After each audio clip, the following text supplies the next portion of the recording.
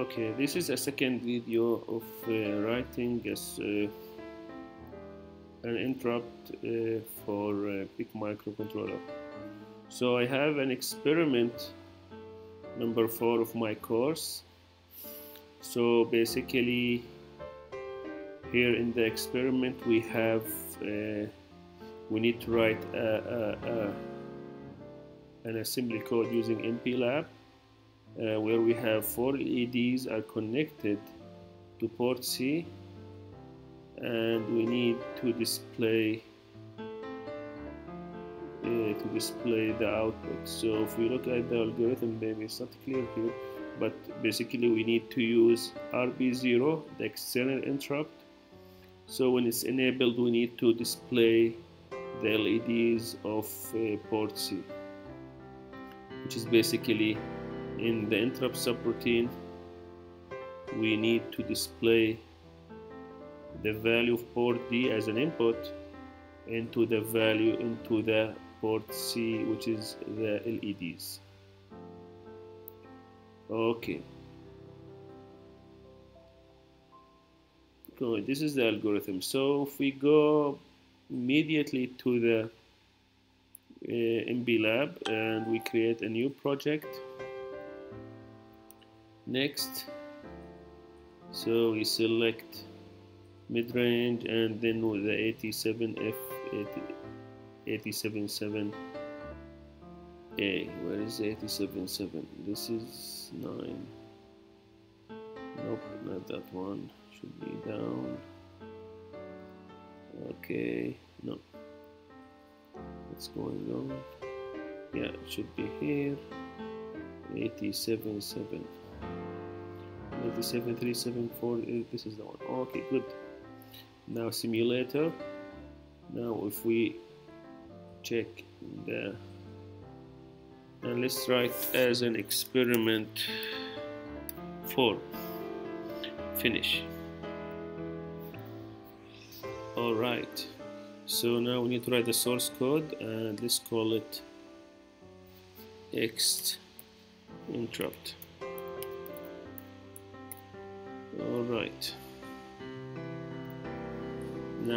need to as usual to write the include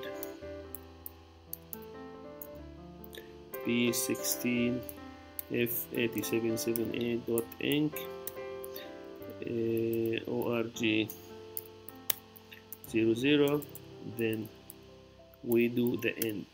All right. Now what do we need to do? We need we have we see the exercise again so we have port D as an input and port C as an output. So we need whenever there is a, an external interrupt port D will display the output to port C. Okay. So let's do the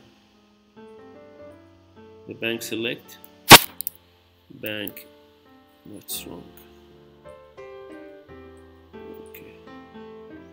Bank there's some problem here.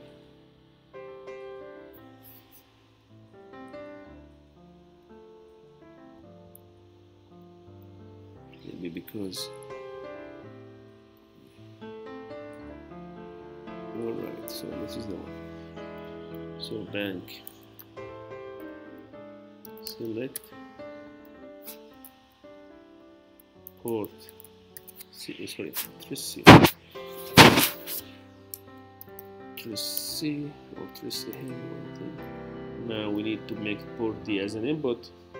So move LW 0 XFF and then move WF.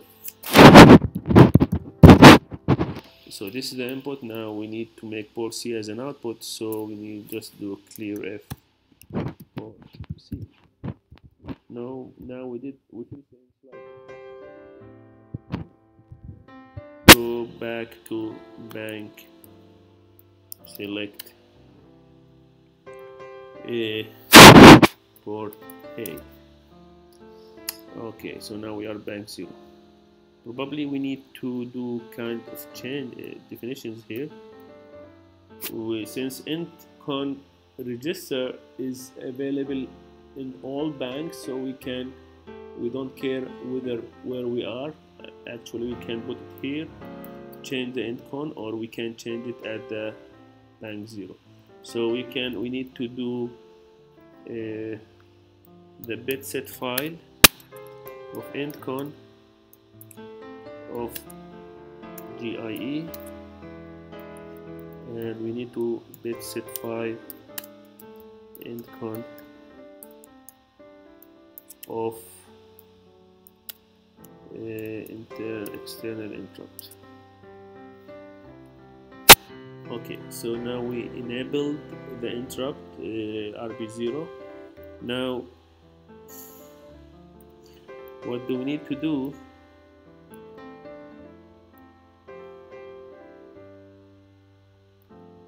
Is we have org 04 for the interrupt but if we lift it like this it will execute org and then org 04 but we need to skip that. So basically what we will do we will do some kind of label any kind of label start or strt or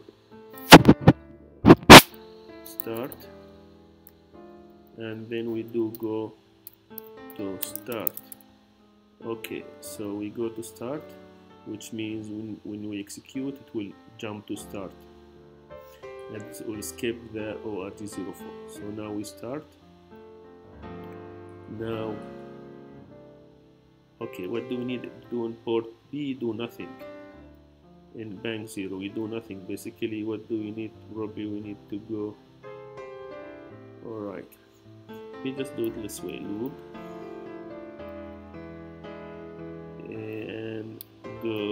loop. So we do nothing. It's just this is the main program right now. And let me do the interrupt subroutine which has a RETFIE return. So the interrupt subroutine what do we need to do? Once there is an interrupt we need to display so move if port B into W and then move WF into port C. Okay this is the interrupt. So what do we need more? Well, what we are missing. Basically we need once we we have the flag we need to clear BCF uh, con comma INDF so we need to clear the flag of the external interrupt alright so what do we need else? We probably we need to instead of moving to probably we need to move here. With the bank select here. Inside ISR right there yeah. So move here and then we need to move to bank select. Option. If you remember option register in option register we can define whether we want the uh, the, uh, the external interrupt to be uh, uh, interrupted while it's rising up or falling down. So BSF option register. And I think it's called int edge. Yeah this is the bit where actually here we are making bit number 6 bit number 6 uh, bit 6 equal 1 which means it's going to be rising up. Rising up. The interrupt will occur when it's rise up if we clear it it will be when falling down. So this is our program I hope. Let me just compile it.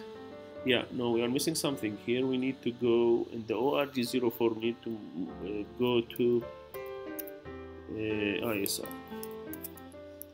alright so this is our program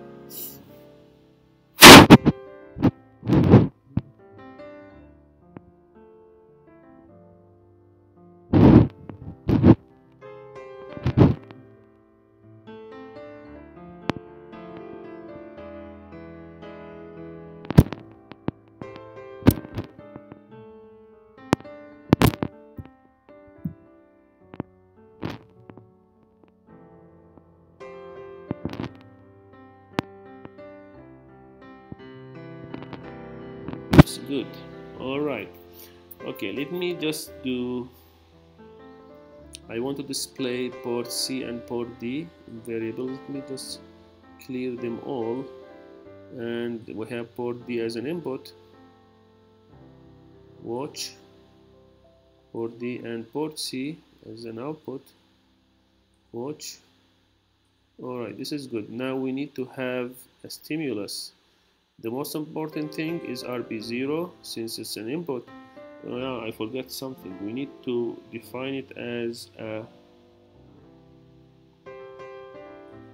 an output an input. So probably we need to do something here you know. Say move LW 0 you can do it in binary. 0 0 0 0 zero zero how many zeros we have? Zero one. Okay. So I have one this is one two three four five six seven eight. Okay. Now we need with this value in, in the TRISB move WF trace B why I did that? I need to make port B as an input because RB0 has to be input in order to trigger the, the external interrupt RB0. So now we have RB0. RB0 is an input. And what we have more, we have, I guess, port D. Let me just put three values for port D.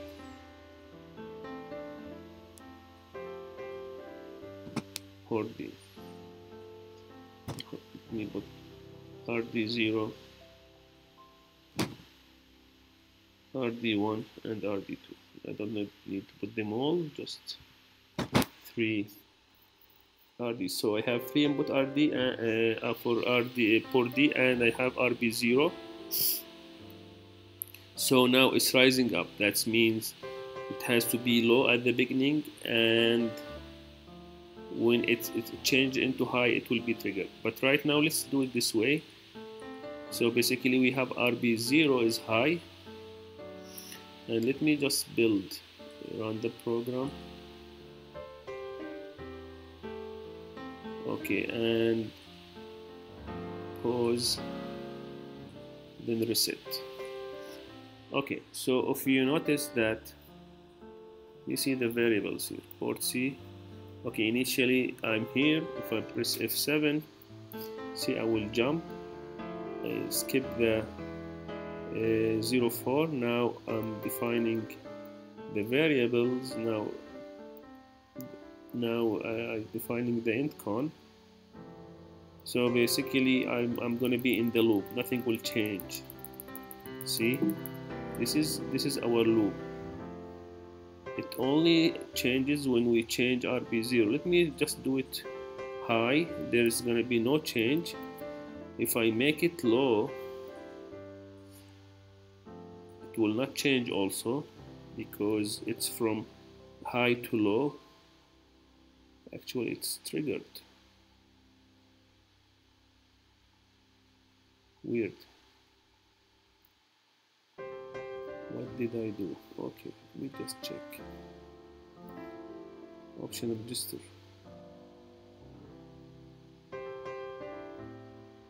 When rising up. BSF no this is falling down. Let me just check. Okay this is low. Now let's make it high.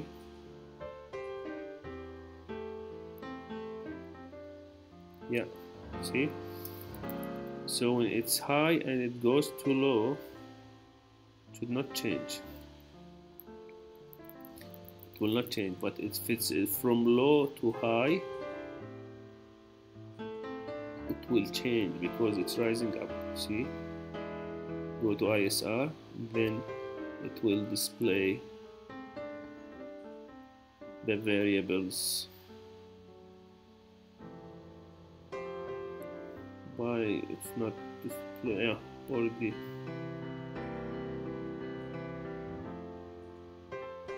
we just put them high. Then low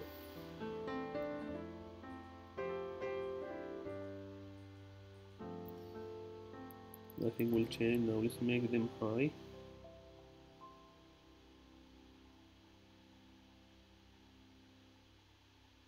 Now high let me just go to the variable see? Now port D is 1 it has to be now we'll go to ISR to move port W then see port C is changed. That's it so this is how it works. Uh, keep in your mind that you need to separate first of all ORG and to jump to start and you have org 404 for the interrupt uh, you need to also to define port b external interrupt as an input. You need to enable the intcon uh, the bit for the interrupt uh, rb0 if it's going to be rb change or uh, timer 0 it will be different but this is how you do it. You don't need to memorize the location you just type the the representation. Then you, if for RB0 you need to define whether it's rising up or falling down uh, the loop here the internal loop uh, it does nothing. This is the interrupt subroutine. Let me just do one thing. If I do a clear BCF that it will be now falling down instead of rising up. So if I compile it now it instead of going to be from high to low now this is high. Now if I run it pause and reset. Okay F7 now it's falling down. Now it will stay in the loop now I'm high now I, make, I want to make it low. Now it will be triggered. Because it's falling down. See? It has it went to the interrupt subroutine then executed the if it's from low to high it will not be triggered because we changed the value. From low to high it will not change anyway that's it for today. Thank you very much